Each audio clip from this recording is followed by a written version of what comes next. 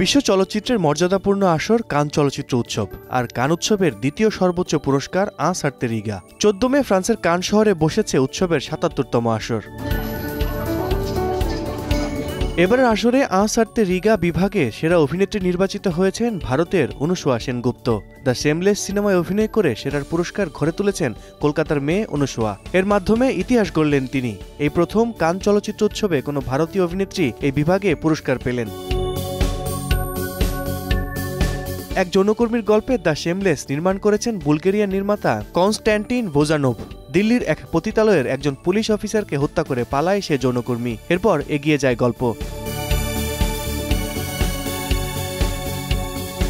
আনসারতে Riga বিভাগে সেরা চলচ্চিত্র নির্বাচিত হয়েছে ব্ল্যাক ডগ। চীনের গুয়ান হু পরিচালিত এক ঘণ্টা ছেচল্লিশ মিনিট ব্যক্তির এই সিনেমাটির কেন্দ্রীয় চরিত্র অভিনয় করেছেন এডি প্যাং।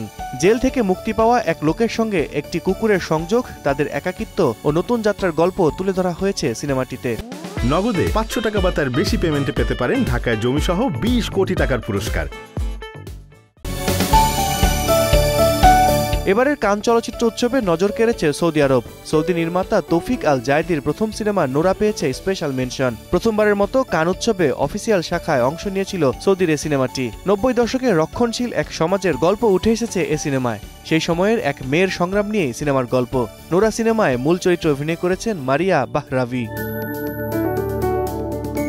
আনসারতে রিগা বিভাগে সেরা অভিনেতা নির্বাচিত হয়েছেন দ্য স্টোরি অফ সুলেমান সিনেমার জন্য আবুসন গারে সেরা পরিচালক যৌথভাবে দ্য ড্যাম্প সিনেমার জন্য রবার্তো মিনারভিনি এবং On Becoming a Guinea Fowl সিনেমার জন্য রুঙ্গানো নিওনি। জুরি প্রাইজ ঘরে তুলেছে দ্য স্টোরি অফ সুলেমান এবং ইউতে অর্ড পেয়েছে হলিকাও।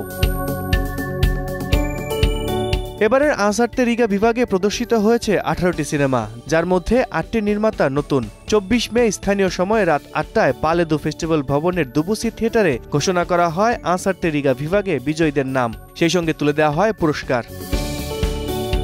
আলকাসির সমসংবাদ।